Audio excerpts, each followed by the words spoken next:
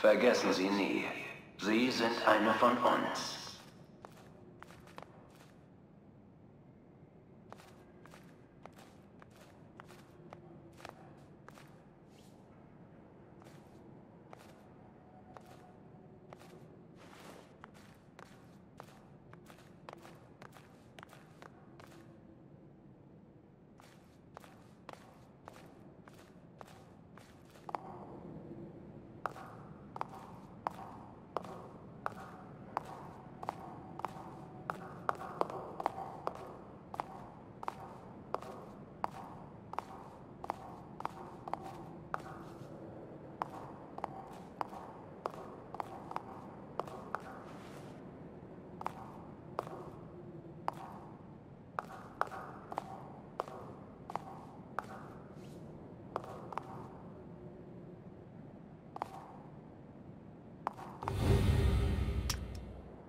Das Zeichen. Es ist unvollständig.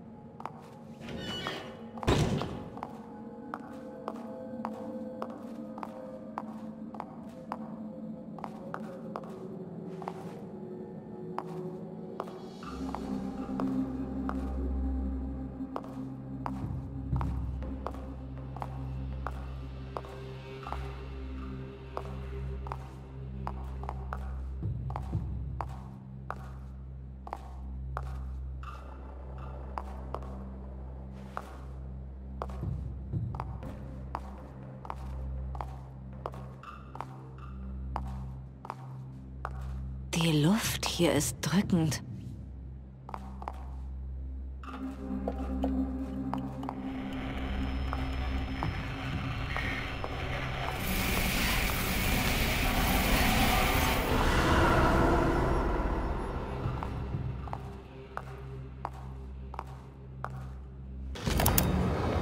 Nach Monaten der Geheimniskrämerei und Indoktrinierung haben sie mich endlich an Bord geholt. Dieser Ort ist ausgesprochen komplex. Trotz des modernen Anscheins basiert die Forschung hier auf über 100 Jahre alten Erkenntnissen. Der Ort ist geschichtsträchtig und wie ich es verstanden habe, ist diese Einrichtung nur eine von vielen. Institutionen, mächtige Familien, sie scheinen viel Einfluss zu haben. Entsprechend groß sind hier auch die Möglichkeiten für mich. Meine Methoden in Beacon haben offenbar Ihr Interesse geweckt und ich bin sehr dankbar für diese Gelegenheit. Das meiste, woran die Forscher hier gearbeitet haben, erscheint nach heutigen Maßstäben aber archaisch. Immerhin, sie meinten, Geld spiele keine Rolle. Für sie zählten nur Ergebnisse. Meine Aufgaben hier und in der Anstalt bekomme ich unter einen Hut, aber Ruben... Sie sind zwar noch recht unbedeutend, aber für sein Alter sind seine Untersuchungen bemerkenswert. Vielleicht hilft er mir hier irgendwann bei meiner Arbeit.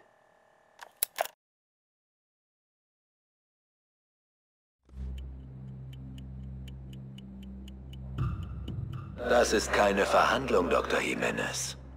Wir sollen eine Lösung finden, daher auch diese Einrichtung. Ich verstehe das. Und ich weiß Ihre Geduld sehr zu schätzen. Unsere Geduld hat Grenzen und die sind fast erreicht. Wenn Sie uns nicht mehr weiterhelfen können, müssen wir jemanden finden, der es kann. Überstürzen wir nichts. Ich habe Tests mit unserer optischen Diagnose gemacht. Und ich muss Ihnen etwas zeigen. Bitte, kommen Sie. Der Projektor ist nebenan.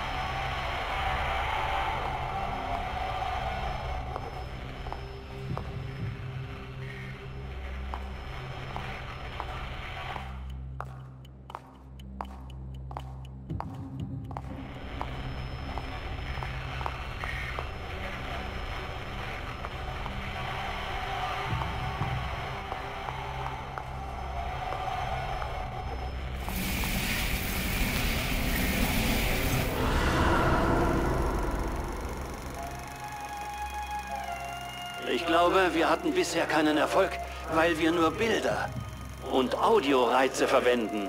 Alles nur passive Einflüsse. Selbst bei meinen geistig beschränkten Patienten funktioniert diese Methode nicht. Wenn wir unser Ziel erreichen wollen, müssen wir neue Wege gehen. Wir brauchen direkten Zugang. Und was schlagen Sie vor? Es ist, nun ja, wie soll ich sagen, eine Art Hobbyprojekt. Ein mechanochemischer Vorgang. Mit ihm sollten wir direkten Einfluss auf die Person haben. Vielleicht sogar Zugang zu seinem Unterbewusstsein. Ich habe die Daten nebenan. Ich zeige sie Ihnen. Das Video. Das haben Sie mir gezeigt, als ich hier ankam.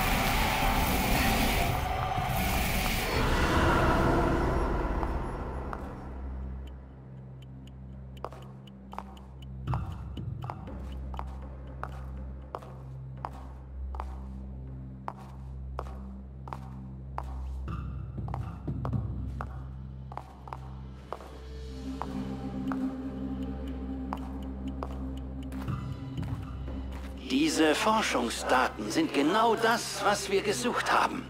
Ich nenne es STAM. Sicher werden Sie und Ihre Vorgesetzten sehr zufrieden damit sein. Sie sagten, das Design stamme von einem Ihrer Schüler. Was ist dann bitte Ihr Beitrag? Er ist eine labile Persönlichkeit. Es ist wohl besser, wenn ich weiterhin als Kontaktmann fungiere. Bringen Sie den Mann her. Wir werden sicher ein produktives Gespräch führen. Wie war noch gleich sein Name? Ruben. Ruben Victoriano.